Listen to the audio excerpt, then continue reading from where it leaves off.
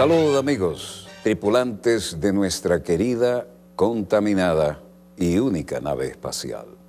La misma que desde la última vez que nos vimos por estos medios ha dado otra vuelta sobre su eje imaginario. Y vaya que sigue generando acontecimientos en pleno desarrollo.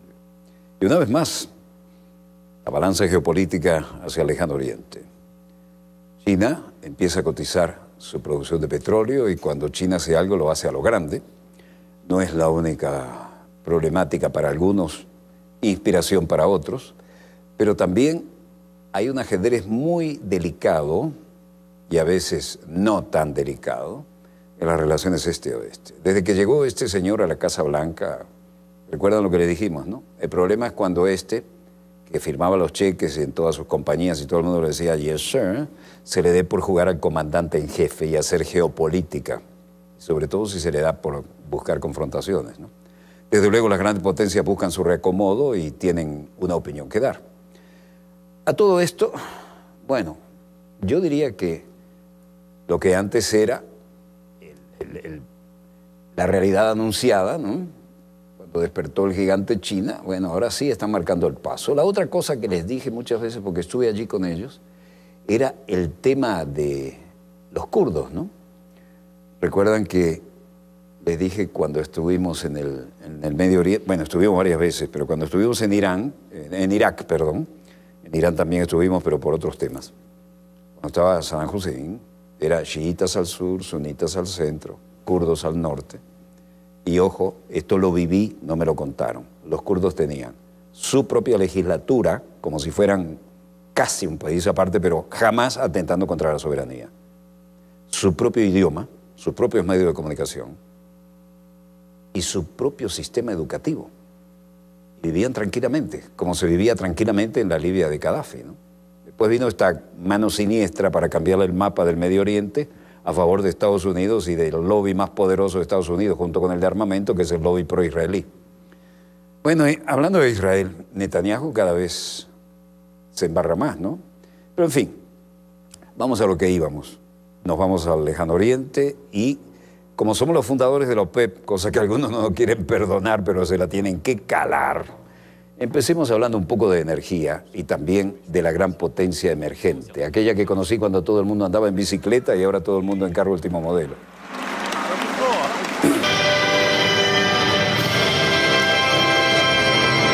El crudo de China se dispara en el debut comercial. Liu Shu, presidente de la Comisión Reguladora de Valores de China, Li Qiang, secretario del Comité Municipal de Shanghái del Partido Comunista de China, con la pantalla electrónica que muestra grandes avances en las transacciones. Wang Jun, director fundador de CIFCO Future Research Institute. El lanzamiento del crudo tuvo un buen comienzo con el contrato más activo, SC 1809, subiendo a 3,39% para cerrar a 429,90 yuanes por barril. Casi 40.700 lotes de petróleo se comercializaron a través del contrato principal en una facturación de 17.640 millones de yuanes. El comercio de los 15 nuevos contratos vio un total de 42.236 lotes de petróleo cambiando de manos a lo largo del día, con una facturación de alrededor 18.000 300 millones de yuanes. Más de 90% de las transacciones realizadas a través de Sierra Charlie 1809. Letrero, felicitaciones del lanzamiento del crudo, es lo que aparecerá después aquí. Y aquí, Wang Jung dice, el aumento del precio significa que nuestros precios de referencia están en línea con los precios internacionales de petróleo y también con los precios del crudo negociado en la bolsa de Shanghái que han comenzado a vincularse con los de los contratos globales. El crudo de China comenzó con buen pie, con el contrato principal saltando más de un 3% al cierre de la sesión de la tarde, aumentando la confianza del país para hacer del nuevo instrumento un tercer punto de referencia mundial de precios. Entraron directo a las grandes ligas.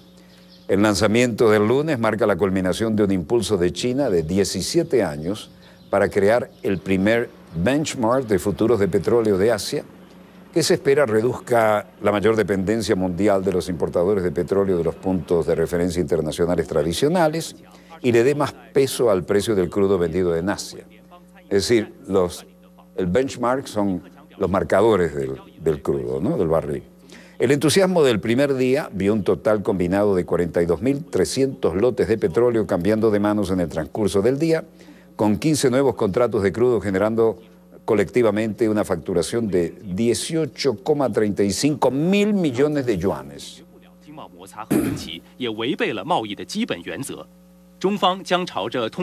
El ministro chino trabajando para el diálogo, pero preparado para una guerra mientras tanto si fuera necesario.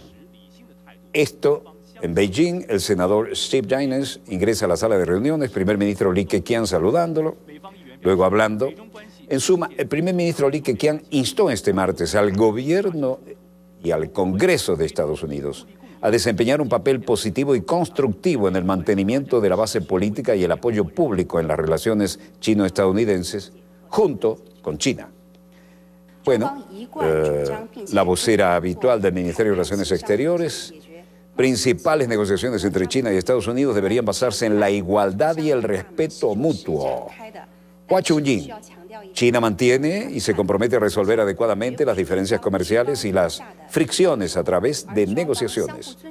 Nuestra puerta a las negociaciones siempre permanecen abiertas, pero debe destacarse que las negociaciones no son de ninguna manera una parte que haga requisitos condescendientemente, sino que deben llevarse a cabo constructivamente con respecto e igualdad.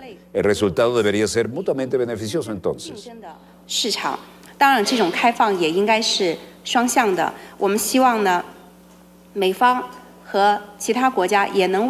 En una palabra, nos esforzamos por hacer que nuestro mercado de 1.300 millones de chinos sea un mercado nivelado para todo tipo de empresas chinas y extranjeras, con diversas formas de propiedad. Por supuesto, debería ser una apertura en dos sentidos. Esperamos que los Estados Unidos y otros países también puedan crear un entorno comercial justo y no discriminatorio para las empresas chinas y extranjeras. China en la nueva era.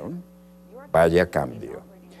Hua Chunji, la portavoz, hizo declaraciones en la conferencia y por lo demás la guerra comercial beneficio a, a largo plazo no beneficia a nadie, ¿no? Estamos en Beijing, Foro de Desarrollo de China en Progreso. Stephen Schwarzman, presidente y CEO de Blackstone Group, dice, no está en el interés de nadie a largo plazo y creo que hay muchas oportunidades para hacer algo que sea productivo. Me gusta tener resultados de beneficio mutuo y creo que se puede tener en esto y en este escenario la modalidad de una especie de, entendimiento y salir del ruido, del ruido actual concentrarnos en lo que se necesita para reiniciar todo de una manera productiva. I think the, the more rapidly that's done, consistent with prudence, uh, is a good thing for China. And it's a good thing. China tiene un resultado positivo, es bueno para China, una actitud positiva, debería decir, en términos de apertura de sectores. Y creo que cuanto más rápido se haga, de manera coherente y con prudencia, es algo bueno para China y es algo bueno para el resto del mundo. La ciudad prohibida allá al fondo, una maravilla. Bueno, Schwarzman hizo las declaraciones con una entrevista con la China Global Television Network en el marco del Foro de Desarrollo de China en Beijing hoy lunes. Mientras tanto, la Unión Europea dice que hay que ser cauteloso sobre las medidas de protección del acero. Volvemos con las consecuencias de las decisiones de Trump, que se metió con el tema del acero y del aluminio porque tiene dolientes, desde luego, no compiten como antes, cuando se creían dueños del mercado. Ministerio de Comercio de China, que esperaba que la Unión Europea fuera cautelosa con el uso de medidas comerciales restrictivas después que la Unión Europea anunciara investigación sobre productos de acero importados. La Comisión Europea dijo hoy que había iniciado una investigación sobre las importaciones de varios productos de acero en respuesta a las restricciones del acero y aluminio del señor Trump en la Casa Blanca. Wang Hejun, jefe de la Oficina de Investigación de Medios Comerciales del Ministerio, dijo que China entendía que la Unión Europea estaba tomando las medidas necesarias contra la última medida estadounidense sobre productos de acero y aluminio. Pero la adopción de medidas de protección global no fue la elección correcta, dijo Wang, desafiando a Estados Unidos. La investigación agravará aún más el desorden comercial y el caos provocado por los pronunciados aranceles de importación de Estados Unidos. Esto tendrá un impacto más serio y destructivo en el orden normal del comercio internacional, enfatizó Wang.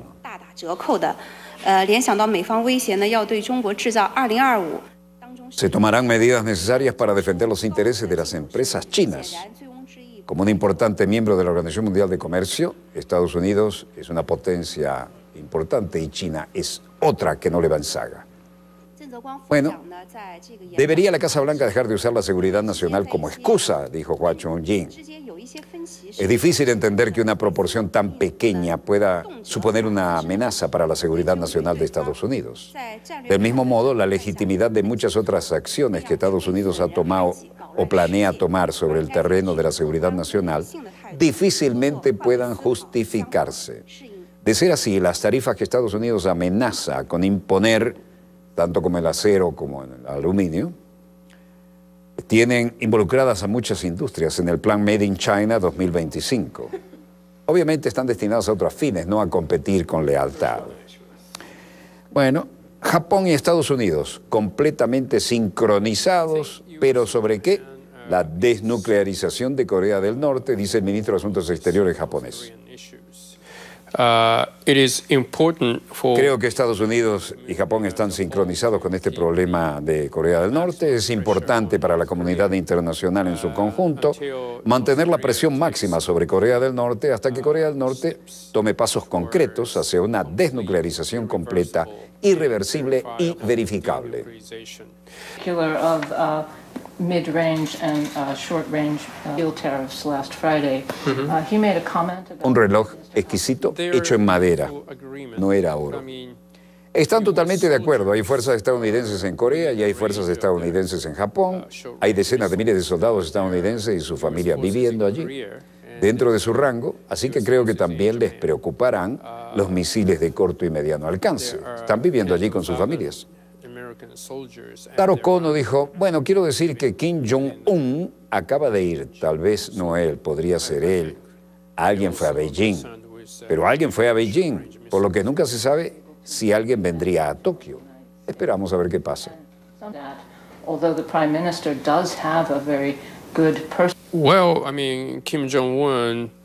Hay un diálogo económico entre Japón y Estados Unidos entre el vicepresidente Pence y el viceprimer ministro Aso, por lo que el tema económico se manejará en ese diálogo. Esa fue la, la respuesta a esta pregunta que están efectuándole ahora. Japan-U.S. economic dialogue between the Vice President Pence and the Deputy Prime Minister Aso. So the economic issue will be handled in that dialogue. Todos buscan diálogo, otros buscan confrontación, ¿no? Taro Kono dijo, bueno, esperamos que los estadounidenses regresen al TPP, es decir, los tratados que han firmado tienen que cumplirlo. Los Estados Unidos estuvieron completamente sincronizados con Corea del Norte y acordaron que deben abolir sus misiles de corto y mediano alcance, así como misiles balísticos intercontinentales. Este es el edificio de la Cancillería de China, importantes ruedas de prensa, varias al día, nadie se las puede perder y ahora se habla acerca de la visita de la delegación de Corea del Norte a Beijing. Hua Chunying dice, Déjame responder simplemente a tu pregunta. En este momento no sé sobre la situación que mencionas. Si hay noticias sobre esta visita y otros puntos de la agenda, los lanzaremos de inmediato. Ahora, como un vecino cercano de la peninsular, por supuesto estamos felices de ver ambas partes abriendo conversaciones, mejorando sus lazos, promoviendo el entendimiento mutuo y la cooperación. China también está dispuesta a brindar apoyo a cualquier esfuerzo que beneficie la promoción de la resolución apropiada al tema de la desnuclearización de la península de Corea, que beneficia la protección de la paz y la estabilidad de la península. Cancillería China, la escena que siempre marca las transiciones, la apertura o el cierre de la rueda de prensa televisada. Egipto, segundo día de votación mientras el Sisi avanza hacia la victoria. Tres días de votación para que puedan ejercerlo todos los ciudadanos, exterior de una escuela utilizada como centro de votación, personas sentadas en la línea de afuera esperando, hombres de la tercera edad esperando para votar, personas siendo revisadas, centro de votación de los tantos, tres días hay que votar ahí con toda esa cantidad de personas y tan distanciadas a veces. Un votante, Gamal Soleimán, declaraba hoy, en referencia a este evento, y decía, quiero enviar un mensaje a todos, un mensaje a mi familia, a mis colegas, a mis alumnos, porque trabajo como profesor, diciéndoles que deben hacerse oír.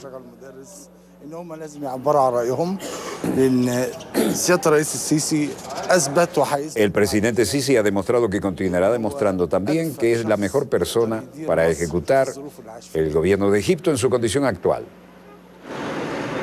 Votantes fuera de los centros de votación, tienen que mojar el dedo en tinta también allá, como garantía de que esta tinta indeleble no va a permitir que vuelvan a, vot- a votar otra vez. ¿no? Hashem Hano, uno de los votantes, también daba declaraciones. Tranquilidad, la gente quiere expresar su voluntad y en todo caso están votando porque aman al país y porque quieren que el presidente permanezca cuatro años más, dicen algunos de ellos. En aquí usamos la tinta oscura, ya usan la tinta roja. Esta vez es diferente, ¿no? Sienten un sentido de responsabilidad. Estamos votando porque amamos el país, porque queremos que el presidente permanezca cuatro años más, porque podrá mejorar al país durante los próximos cuatro años y es mejor que pueda hacer el trabajo durante ese periodo. Y por supuesto, hay algunas generaciones jóvenes que piensan que no les gusta lo que él está haciendo al 100%. Pero en general, no se puede detener a 100 millones diciendo que queremos al presidente. Hay que manifestarlo en las urnas y hay que ejercer el derecho democráticamente.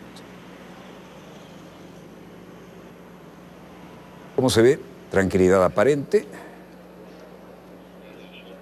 la cola en orden.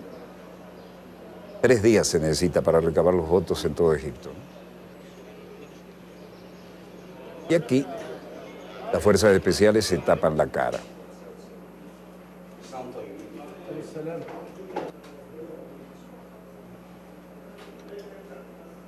La historia es que las urnas se cerraron en el segundo día de las elecciones presidenciales de Egipto y es posible que esto lo toque la, la- continuidad al actual presidente. ¿no? Dice, estamos votando porque amamos el país y porque queremos que el presidente permanezca cuatro años más. Porque podrá manejar el país durante los próximos cuatro años y es lo mejor que puede hacer el trabajo durante este periodo. Es el mejor para ello.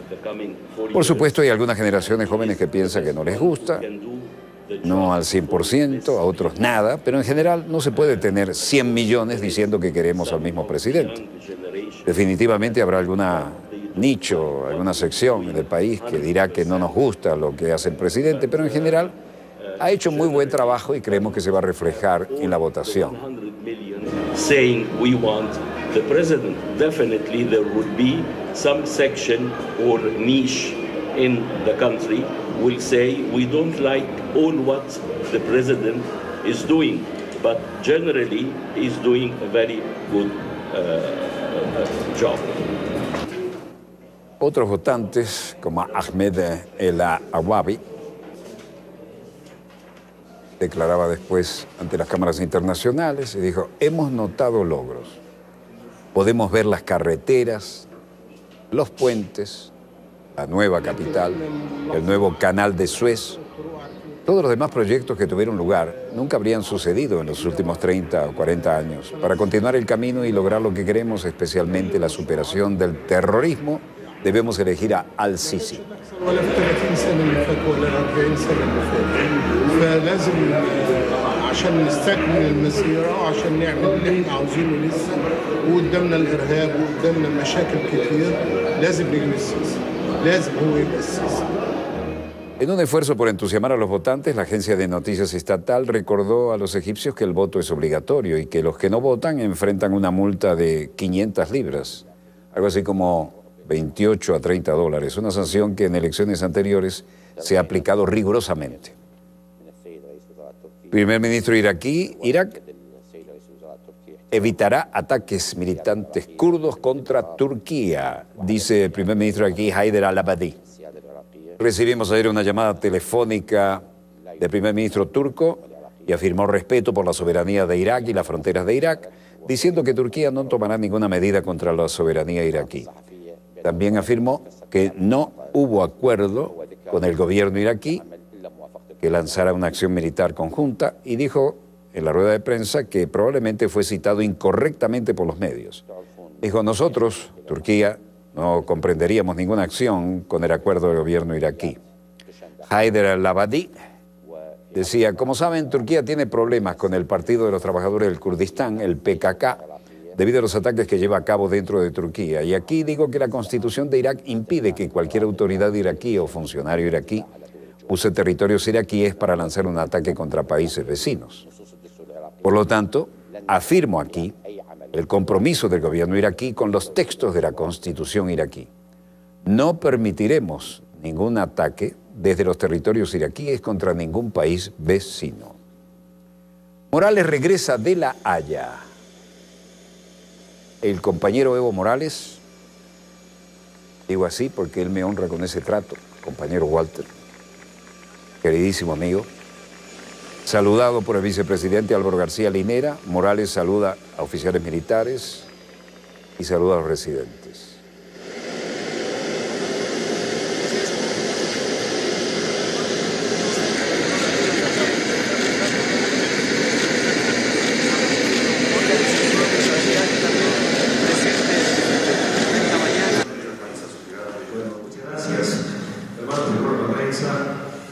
Nosotros vamos a estar desde las 4 de la mañana, todo el gabinete en el Palacio, haciendo seguimiento a los argumentos, pero después de escuchar qué argumentos tienen, tal vez seguramente va a ser nuevos, espero que no sean insultos políticos o tratan de tergiversar, repito nuevamente, eh, eh, que todos los compromisos, todos los ofrecimientos constituyen elementos legales, jurídicos.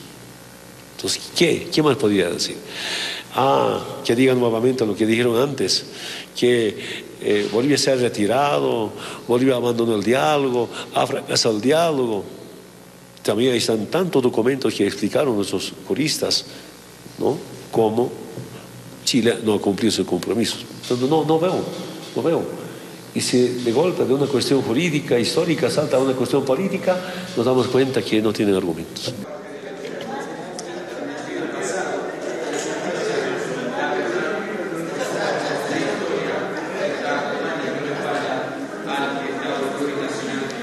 Been in on YouTube on the public record in a way. It is categorically untrue, categorically untrue that Cambridge Analytica Estamos en Londres, en el Reino Unido. Una compañía canadiense, IAQ, trabajó el software para encontrar votantes republicanos antes de las elecciones presidenciales de Estados Unidos. Y el papelón ahora se puso rojo el hombre, pero no en la cara, ¿no? Christopher Wiley, vocero de Cambridge Analytica, respondieron a la pregunta sobre Alexander Nix diciendo, categóricamente no es cierto, categóricamente falso que Cambridge Analytica nunca haya utilizado datos de Facebook. Los datos de Facebook y la adquisición usando la aplicación Alexander Cogan, el investigador de la Universidad de Cambridge, fue el conjunto de datos fundamentales de la compañía. Así es como se desarrollaron los algoritmos. Al menos gastaron un millón de dólares en ese proyecto de adquisición. Y por cierto, lo que he proporcionado al comité es el contrato firmado. Está bien, con la firma de Alexander Cogan, la firma de Alexander Nix, con un contrato que hace referencia al uso de la aplicación que también recolecta datos de Facebook y Facebook y amigos. Un miembro del comité le dice, entonces nos ha dejado fuera del camino por un largo tiempo y ahora estamos llegando al fondo del asunto. I, I would I would sort of call it like a like a French. Creo que los comentarios de Alexander Nix y su comité fueron excepcionalmente engañosos y francamente diría que no solo son engañosos, sino que diría que fueron deshonestos. Es lo que dice Christopher Wiley respondiendo a la pregunta. So inter- the internal documents of the company refer to this entity, AIQ, as SCL Canada. Um, as uh, De alguna manera llamaría esto como una franquicia, de modo que en los documentos internos del personal, por ejemplo, esta lista de personal interno que también ha pasado al comité, el personal de AIQ figura en la lista de SCL Canadá. Entonces, los documentos internos de la compañía refieren a la entidad IIQ y SCL. Pero como ya sabes, he estado diciendo durante meses, como un Gizmodo ha validado ayer que es un sitio web que ha encontrado la base de código que construyó el IAQ y demuestra que construyó la plataforma Ripon para Cambridge Analytica. Lo que ahora es una prueba tangible en el dominio público es que AIQ realmente construyó Ripon con su software y utilizó los algoritmos de datos de Facebook. Bueno, la historia es que hay pruebas tangibles en el dominio público de que aquí se manipularon datos para hacer una ayuda ilegal en términos de una elección que tradicionalmente usaba otros métodos. Y desde luego, cuando las computadoras y la Internet dejó de ser un secreto militar, aparecieron estos pequeños genios y algunos no tan pequeños. No, no veo en los eh, monitores de satélites nada que altere lo que les hemos mostrado o que mejore lo que tengo previsto. Hablo en primera persona como productor, ¿no? Eh, lo que tengo previsto para el segundo bloque. Por supuesto, detrás de esto hay un pequeño equipo. Bueno, entonces un breve corte y volvemos con más acontecimientos en pleno desarrollo. No se muevan, ya volvemos.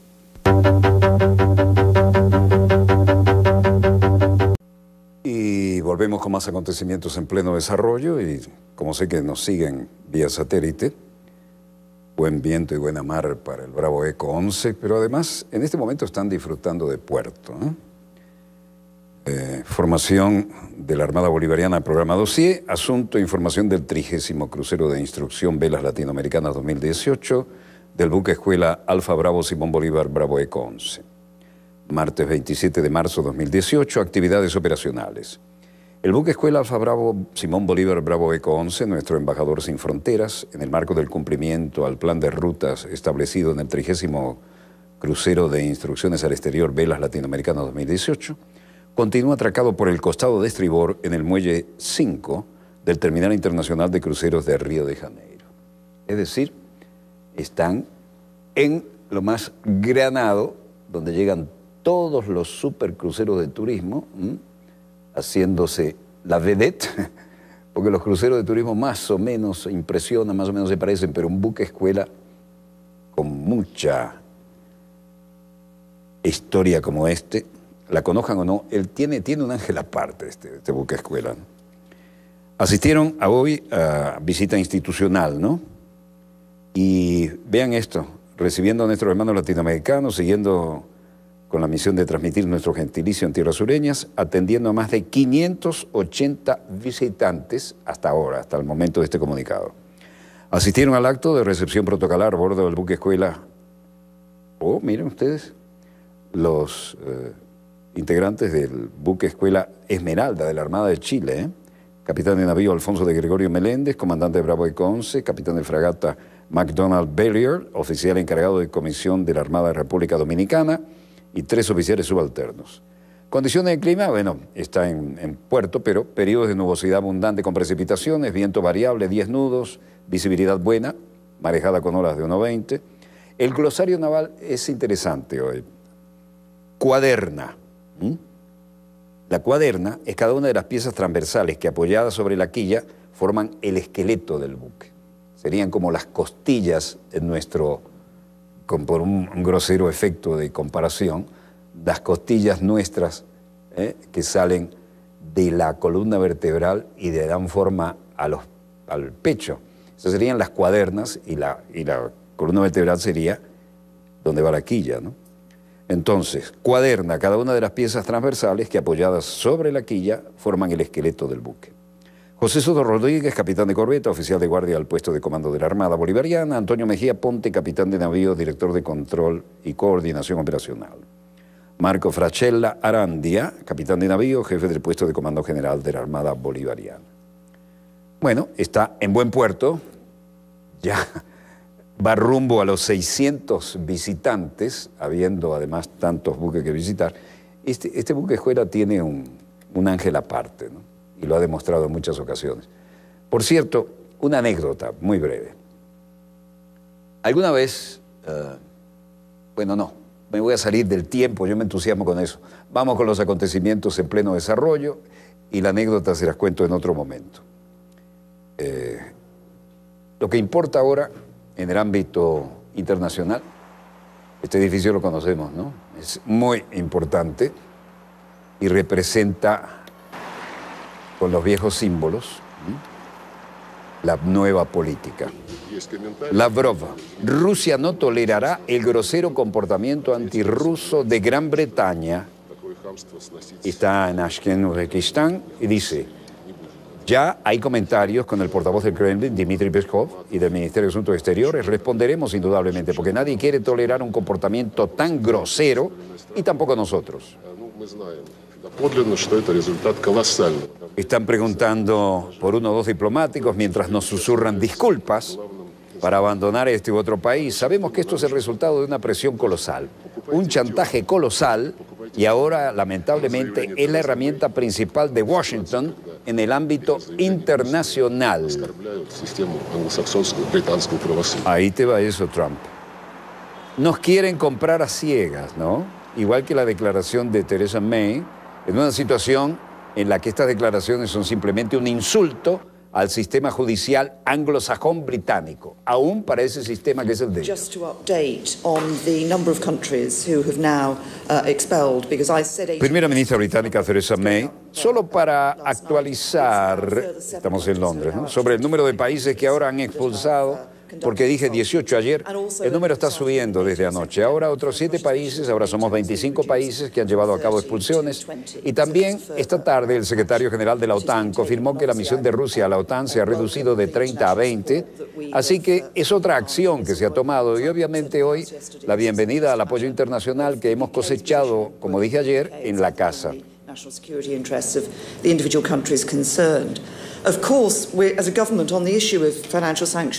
Es solo una cuestión de oposición del Reino Unido y del trabajo con el Reino Unido y creo que en el interés de la seguridad nacional de los países en cuestión. Por supuesto, nosotros como gobierno, en el tema de las sanciones financieras, estamos totalmente comprometidos con la imposición de sanciones donde ellos apoyan y protegen nuestra política exterior y nuestros intereses de seguridad nacional. Y las sanciones financieras, como sabrán, se han impuesto y continúan siendo mantenidas por la Unión Europea y el Reino Unido en respuesta a la acción de Rusia en Ucrania. Si las regulaciones se rompen, tomaremos medidas para hacer que se cumplan, incluyendo enjuiciamientos si son apropiados.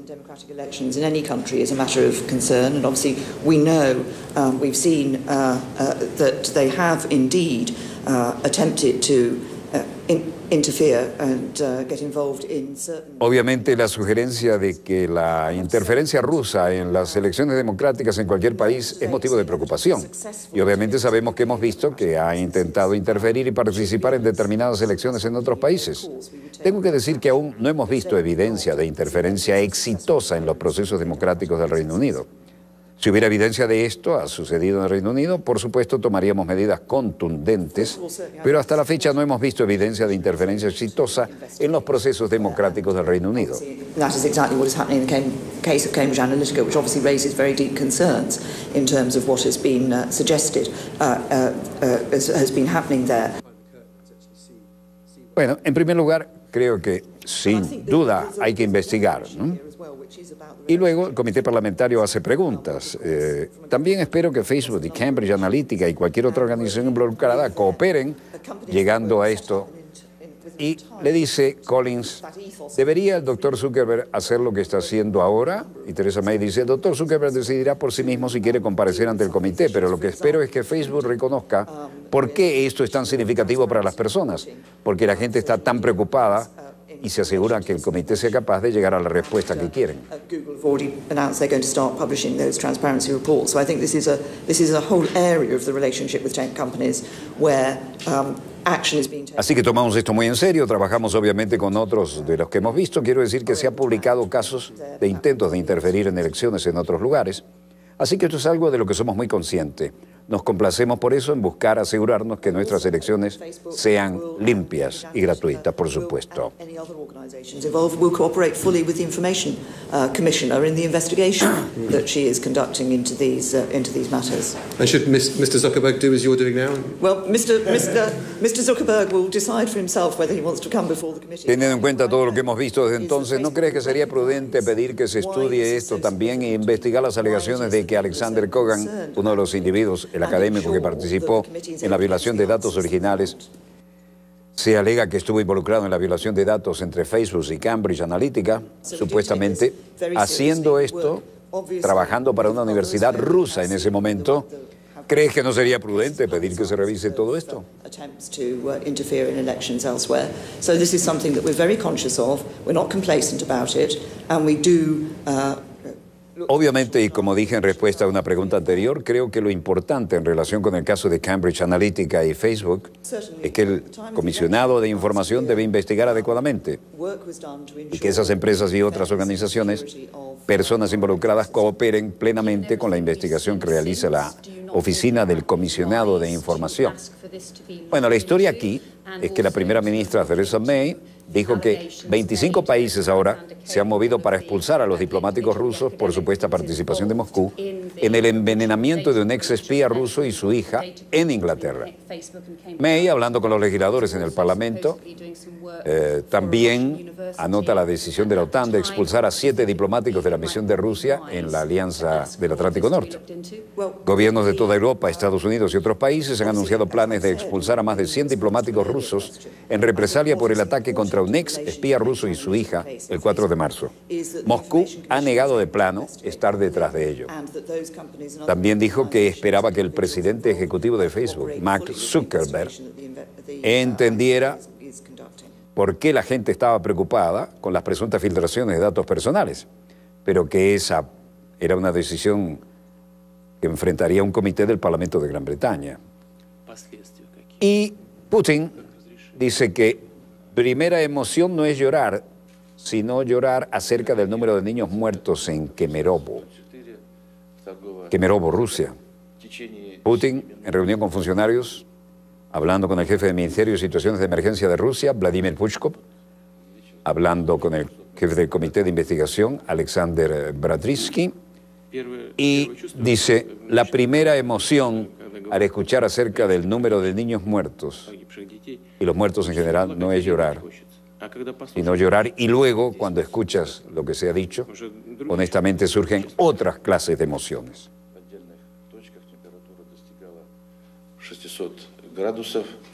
Otra pregunta dice, es imposible obtener una certificación sin pagar dinero. Si se paga algo, se firmará. Este es el desastre.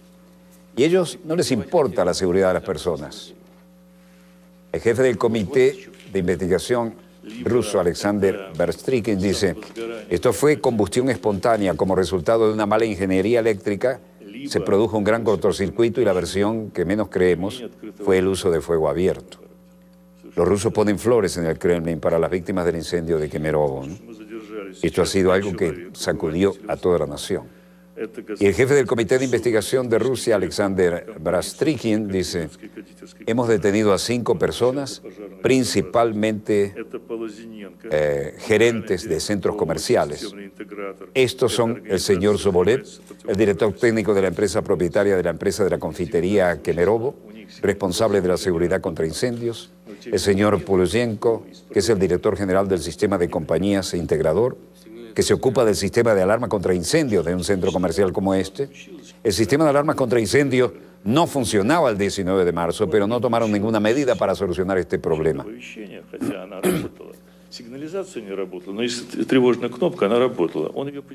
Aquí hubo algo terrible, ¿no? Una niña que se dio cuenta que no podía salir ese incendio brutal en un cine dentro del, centro comercial, llamó a sus padres y se despidió de ellos. Es brutal esto. El miembro del personal de seguridad, al que también estuvimos, su apellido es Anchushin, no activó el sistema de alarma que, aunque estaba funcionando. El sistema de señalización no funcionaba, pero el botón de alarma estaba funcionando, no lo presionó por razones desconocidas. Hoy no podemos explicar esto, no podemos dar una explicación razonable. Entonces el sistema de seguridad en general, aunque se pagó mucho dinero y se involucraron organizaciones altamente especializadas, y así sucesivamente de hecho, fue abandonado. Y no lo usaron además. Descubrimos que muchas de las puertas en las áreas con niños en su mayoría, que era en el cuarto piso con salas de juego para niños y tres salas de cine, con principalmente jóvenes, estaban bloqueadas. Estamos tratando de descubrir por qué bloquearon las puertas. Una de las versiones que se hizo para evitar que los jóvenes y aquellos sin boletos ingresaran sin pagar a las salas de cine. Vean las consecuencias. Y luego Alexander Rastrigen dice, me gustaría señalar que una gran parte del personal del centro comercial simplemente huyó, escapó y abandonó a los niños y a sus padres y a las personas que se suponían que eran responsables de la seguridad para la organización de la evacuación. Huyeron ellos primero, casi nadie del personal del centro comercial está en la lista de víctimas. Hay que aprender de esto, ¿eh? hay que aprender de esto. Presidente Vladimir Putin presidió una reunión de altos funcionarios este martes después de volar a la escena de este mortal incendio en un gran centro comercial en Siberia que causó la innecesaria muerte de 64 personas, entre ellos menores de edad.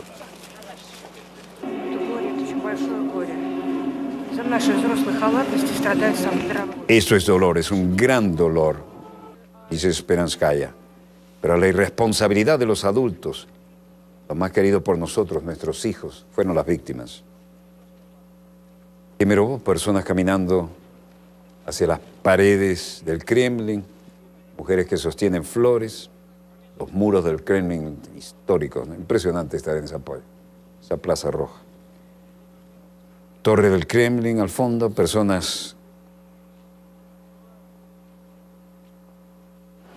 Realmente esto fue brutal. Los deudos pusieron flores y velas encendidas cerca del Kremlin en honor a las 64 personas muertas en un incendio en un centro comercial que resultó ser fatal en Siberia. Los que están en Moscú también pusieron flores en el Kremlin recordando las víctimas innecesarias de Siberia. Colocaron claveles rojos, juguetes de peluche y la parcarta decía Kemerovo, 25 de marzo de 2018. Gente con batas de lluvias blancas entregaban flores a las personas que caminaban hacia el monumento. Vladimir Putin dice, no sacaremos conclusiones ahora mismo para nombrar a los culpables, pero estos 100 investigadores trabajarán por todo lo que valen completamente, eso es seguro y no lo duden. Una investigación completa, una investigación completa absolutamente.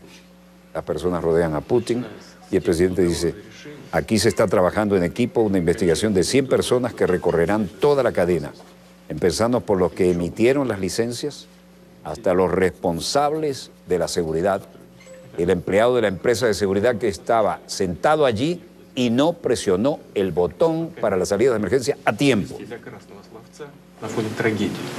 Первое. А второе, нужно точно совершенно определить то, в чем виноват. Вот, и когда мы это сделаем... Antes que nada, tales cosas no se hacen frente a las cámaras por el bien de una declaración fuerte, con una tragedia de fondo.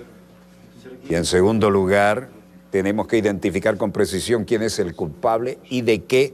Y cuando hacemos esto nosotros, definitivamente se tomarán decisiones apropiadas. Vladimir Putin juró que los responsables del centro comercial mortal en Siberia, que mató 64 personas, serían duramente castigados y fue a visitar a los sobrevivientes, como estamos viendo. Dirigiéndose a un grupo de residentes de Kemerovo, después de la visita a la escena del incendio fatal, Putin prometió una investigación completa que seguiría la cadena de eventos paso a paso y que encontraría a todos los involucrados en lo que él ha llamado negligencia criminal. Catalanes protestan contra el cancelamiento de sus líderes. furgonetas aparcados fuera de la estación de tren de Barcelona, manifestantes gritando, policía preparada para todo evento, demostradores lejos de la línea policial, manifestantes empujando.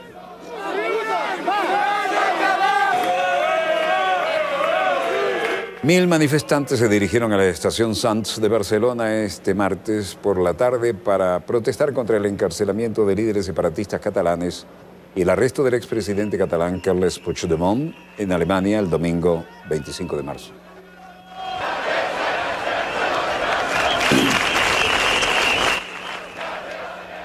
Puigdemont tiene fe en el sistema de justicia alemán, dicen los abogados. En todo caso, la protesta organizada en las redes sociales por los comités de defensa del referéndum, los CDR, grupos vecinales que se establecieron en Cataluña antes del referéndum prohibido el 1 de octubre para movilizar a la gente a votar y asegurar que el referéndum siguiente siga adelante en la cara de la represión por parte de las autoridades españolas.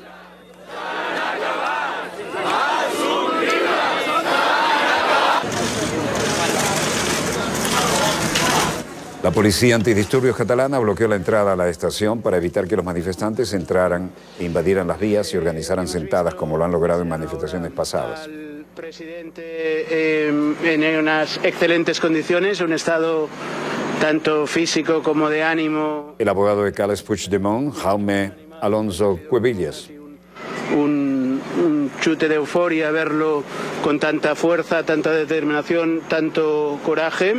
Estado tanto físico como de ánimo excelente. La verdad es que salimos mucho más animados, de, ha sido como casi un... El trato es exquisito por parte de los servicios penitenciarios y agradece, como decía, las muestras de soporte recibidas. Eh, hace un llamamiento a, la unidad de todo el soberanismo y especialmente insiste en el mensaje de determinación, de, coraje y que no, no, no, desfallecerá en seguir defendiendo sus ideales pese a todas las adversidades que se están eh, viviendo en estos momentos.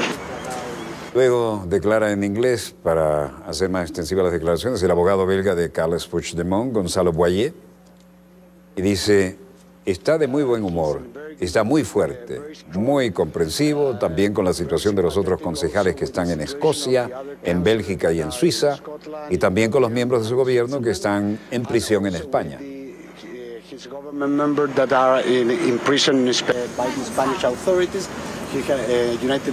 Accepted. Boyer Alonso Cuevillas, durante las declaraciones, Gonzalo Boyer dice, ha dicho, nunca nos rendiremos, y este es su mensaje para el pueblo catalán, y también que tiene derecho a expresar su voluntad de independencia y de la de nuestra república.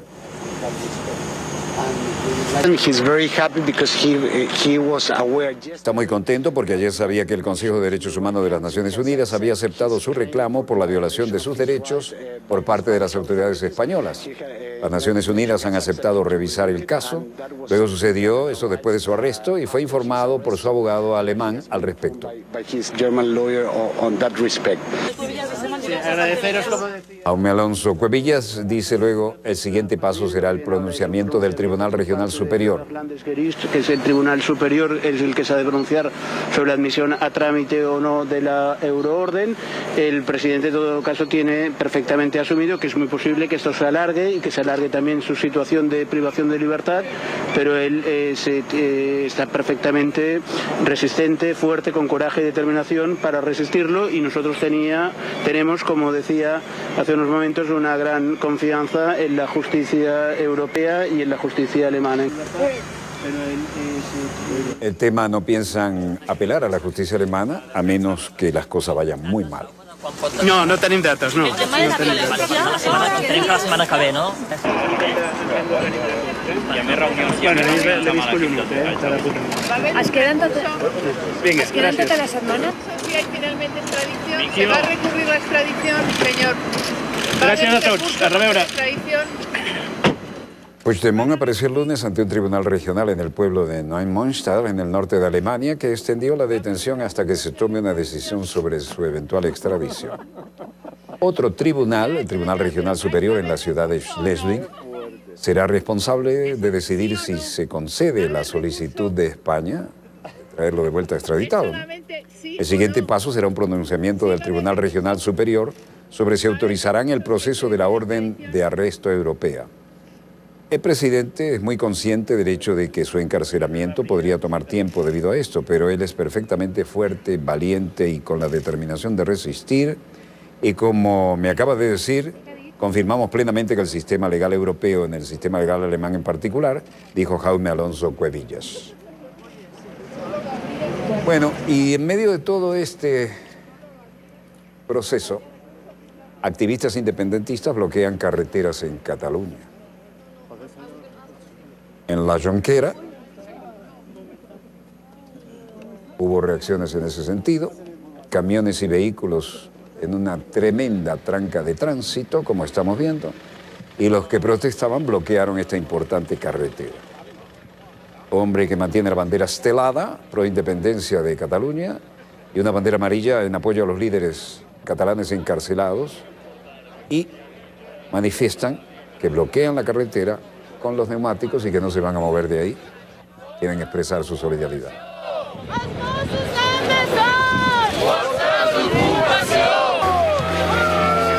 Los manifestantes pusieron neumáticos como barricadas en las autopistas AP7, N340, desde las 6 y 30 de la mañana, mientras entonaban consignas en apoyo de la República Catalana y convocaban a una huelga general. Y en el centro de Barcelona, un pequeño grupo de manifestantes bloqueó la avenida Diagonal, irritando a algunos de los conductores que estaban camino del trabajo. La tensión aumentó cuando un hombre intentó conducir a través de la barricada con su camioneta. Los manifestantes aumentaron después de semanas de calma tras el arresto del expresidente catalán Carles Puigdemont en Alemania el domingo 25 de marzo. Bueno, fluida situación. Y realmente la cosa está de caramelo. Ah, tal vez un poco de cava ayudaría ahí a enfriar los ánimos, ¿no? Pero como quiera, esto no termina aquí, esto solo comienza. Y eso estaba aguantado desde hacía mucho tiempo. ¿no? Mucha niebla en algunas carreteras europeas, pero bueno, por ahora fluyen. Eh, solo me resta decirles que donde quiera que se encuentren de ese lado del receptor, les agradezco mucho por permitirnos estar allí con ustedes. Cuando se quieran comunicar con nosotros, ustedes saben que este programa no es de Telesur, este programa es en principio de este servidor como productor independiente y de mi querido canal de toda la vida, venezolana de televisión, Canal 8, cadena oficial. Su antecesor era TVN5 allá en La Charneca, en el Cerro Marín, donde comenzamos con el único satélite que llegaba de uso civil y hacíamos en la tarde satélite directo, sala de redacción. Aquello evolucionó a esto. Y ahora podemos decir con gran orgullo que nos ven mucho más allá del hemisferio, porque donde no llegan los satélites llega la Internet. Bueno, donde quiera que se encuentren de ese lado del receptor, muchas gracias por permitirnos estar allí con ustedes. Desde el estudio 3 de Venezolana de Televisión, canal pionero de la televisión internacional vía satélite, les habló Walter Martínez, productor y conductor de Dossier. Gracias una vez más. Disponga usted de las cámaras, señor director.